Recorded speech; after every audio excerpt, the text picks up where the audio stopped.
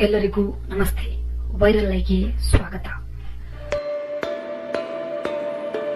ನಿಮಗೆಲ್ಲರಿಗೂ ತಿಳಿದಂತೆ big boss ಕೊನೆಗೊಳ್ಳುತ್ತಿದೆ ಎಂಬ ವಿಚಾರವನ್ನ ಬಿಗ್ ಬಾಸ್ನ ಮುಖ್ಯಸ್ಥರಾದಂತ ಪರಮೇಶ್ವರ್ ಅವರು ತಮ್ಮ ಫೇಸ್ಬುಕ್ ಖಾತೆಯಲ್ಲಿ ಬರೆದುಕೊಂಡಿದ್ದರು. ನಿಜಕ್ಕೂ ಈ ವಿಚಾರ ಕರ್ನಾಟಕದಲ್ಲಿ ಬಹಳಷ್ಟು ಸುದ್ದಿಗೆ ಗ್ರಾಸವಾಗಿತ್ತು. ಸುಮಾರು ಎಪ್ಪತ್ತೆರಡು ಎಪಿಸೋಡ್ಗಳನ್ನ ಮುಗಿಸಿ ಮುನ್ನುಗ್ಗುತ್ತಿದ್ದ ಕರ್ನಾಟಕದ ಪ್ರತಿಷ್ಠಿತ ರಿಯಾಲಿಟಿ ಶೋ ಒಂದು ಅರ್ಧಕ್ಕೆ ನಿಂತಿರುವ ವಿಚಾರ ಕೇಳಿ ಕರ್ನಾಟಕದ ಬಹಳಷ್ಟು ಬಿಗ್ ಬಾಸ್ ಪ್ರೇಮಿಗಳು ಬೇಸರ ವ್ಯಕ್ತಪಡಿಸಿದ್ದರು.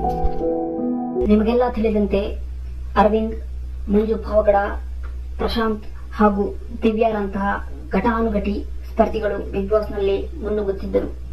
ಇದರೊಂದಿಗೆ ವೈಲ್ಡ್ ಕಾರ್ಡ್ನಲ್ಲಿ ಎಂಟ್ರಿಯಾದಂತಹ ಚಕ್ರವರ್ತಿಯವರು ಕೂಡ ಸ್ಪರ್ಧಿಗಳ ಮುಂಚೂಣಿಯಲ್ಲಿ ತಮ್ಮನ್ನ ಗುರುತಿಸಿಕೊಂಡಿದ್ದರು. ಆದರೆ ಕಳೆದ ಒಂದು ವಾರಗಳಿಂದ ಶಮಂತ್ರವರ ಆಟ ನಿಜಕ್ಕೂ ಕರ್ನಾಟಕ ಜನತೆಗೆ ಖುಷಿ ತಂದಿತ್ತು ಈ ಎಲ್ಲ ವಿಚಾರಗಳ ನಡುವೆ ಹೊಸದೊಂದು ಸುದ್ದಿ ನಿಜಕ್ಕೂ ಸೋಷಿಯಲ್ ಮೀಡಿಯಾದಲ್ಲಿ ವೈರಲ್ ಆಗಿದೆ. ಬಿಗ್ ಬಾಸ್ ಅನ್ನ ಮುಂದುವರಿಸುತ್ತಾರೆ ಎಂಬ ವಿಚಾರ ಸೋಷಿಯಲ್ ಮೀಡಿಯಾ ಹಾಗೂ ವಾಟ್ಸ್ಆಪ್ಗಳಲ್ಲಿ ಹರಿದಾಡುತ್ತಿದೆ. ಆದರೆ ಇದರ ಸತ್ಯಾಸತ್ಯತೆ ಇನ್ನೂ ತಿಳಿದು ಬಂದಿಲ್ಲ. ಈ ವಿಚಾರದ ಕುರಿತಾಗಿ ಬಿಗ್ ಬಾಸ್ನ ಮುಖ್ಯಸ್ಥರಾದಂಥ ಪರಮೇಶ್ವರ್ ಅವರು ಇನ್ನು ತಮ್ಮ ಅಧಿಕೃತ ಹೇಳಿಕೆಯನ್ನು ಹೊರಹಾಕಿಲ್ಲ.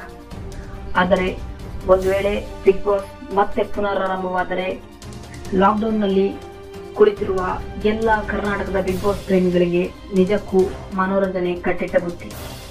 ಇದಕ್ಕೆ ನಾವು ಕಾದು ನೋಡಬೇಕಾಗಿದೆ.